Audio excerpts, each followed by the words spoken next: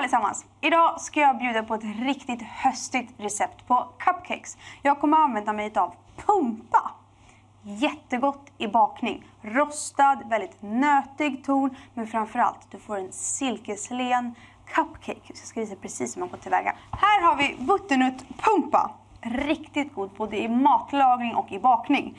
Du får ett väldigt saftigt resultat. Dela pumpan i mitten, snittyta neråt på plåten. Jag har redan rostat min pumpa så har jag bara gröpt ur innan ätet. Eh, då får du den här, en fin härlig puré. Orkar du inte rosta din pumpa, det finns numera på burk, så ta det.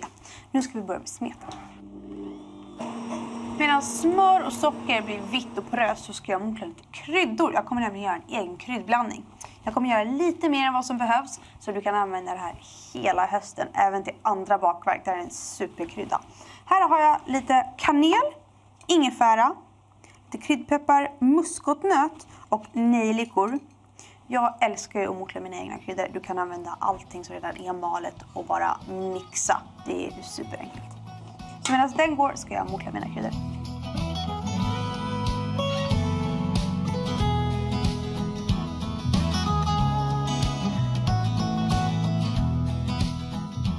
Nu kommer jag i ett ägg i taget och sen så kommer jag i pumpa och torra ingredienser.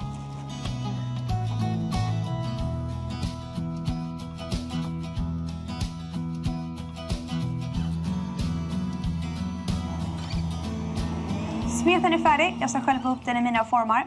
I smeten hade vi ju socker, smör, vitt och poröst, i med äggen, torra ingredienserna och sen så i med den härliga. Jag använder min glasskopa när jag gör cupcakes på samma mått på varje.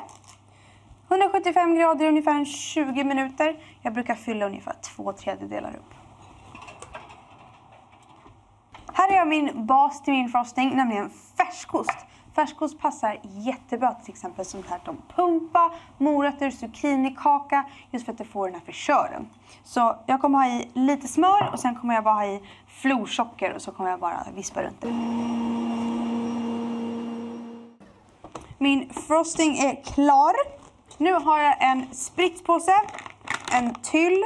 Det här kallas en stjärntyll som går inåt. Då får du som en sån här rosmönster. tycker jag är fint. Vill du ha lite hjälp så en kruka eller en ställning håller spritspåsen på plats. Så kommer jag toppa mina cupcakes med lite pekannötter och lite skintis.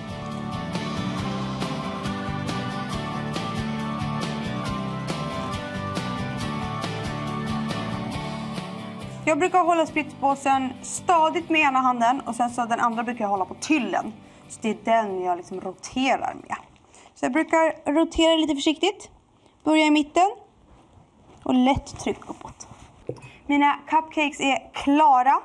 Dekorera med lite pekannötter, lite godis och du har den perfekta höstdesserten. Receptet hittar ni på mittkok.se.